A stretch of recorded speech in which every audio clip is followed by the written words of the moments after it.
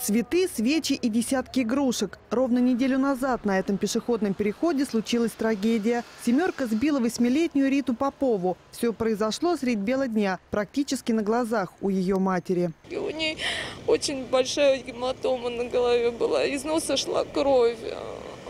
Вся она, она не шевелилась, она даже не дышала. Эти кадры сделаны уже после аварии. Рита так и не пришла в себя. Несмотря на старания врачей, она умерла спустя сутки в реанимации. После этого жизнь в 28-м микрорайоне круто изменилась. Мы своих детей теперь не отпускаем никуда. То есть без наших роди... без родительской помощи они никуда не идут.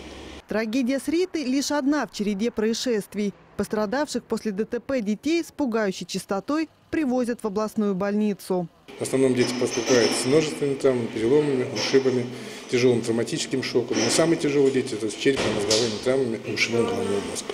Катя, можно сказать, еще легко отделалась переломами ноги и руки. 1 сентября на пешеходном переходе на нее наехал грузовик. Оле повезло меньше. После аварии восьмилетней девочке придется учиться жить заново. Она ехала на велосипеде, он говорит, я ее не заметил.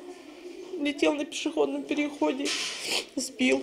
Девять сбитых детей за 10 дней. Такого на липецких дорогах не было уже очень давно. Чтобы исправить печальную статистику, автоинспекторы вновь начали профилактическую акцию. Теперь каждый день они дежурят у школ и вблизи пешеходных переходов.